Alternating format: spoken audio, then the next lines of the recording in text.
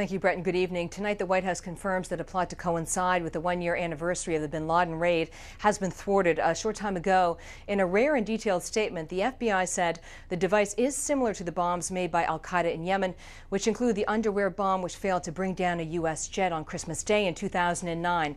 The device was seized before a suicide bomber in Yemen bought his airline ticket, and forensic analysis is being done to confirm that both bombs were made by the same Saudi bomb maker. U.S. officials describe Ibrahim al Asiri as their top target in Yemen.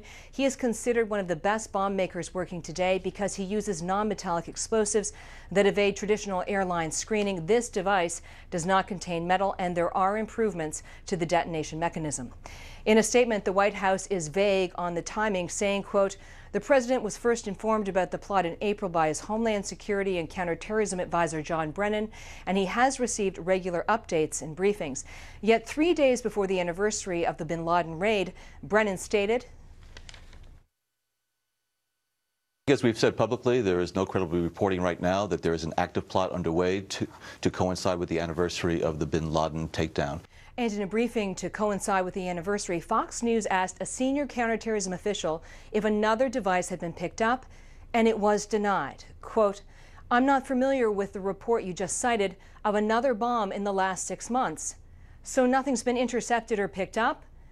Not that I know of, no. And tonight on Capitol Hill, senior committee members and staffers told Fox that they had not been briefed on the plot or the device. And just moments ago, the Secretary of Defense confirmed that it was a classified, highly classified information operation, rather, and that he had no further comment at this time. Brett. Catherine, that is a bit unusual for the Senate Intelligence Chair, uh, Dianne Feinstein, to say that she was briefed 30 minutes ago about something that now a statement says the president was briefed about in April, there seems to be this disconnect of who knew what when.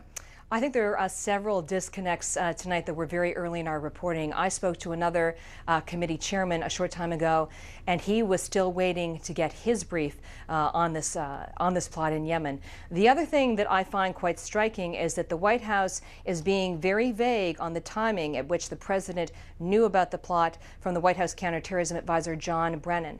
And just to highlight, on April 27th, Fox News asked specifically because we had heard there had been some event overseas if something had been picked up, and that was categorically denied, Brett. And quickly, one would assume that Brennan would be the person who would have briefed Brennan's the president. Brennan's the point guy for all this stuff. Absolutely. Okay. Catherine, thank you. More on this with the panel.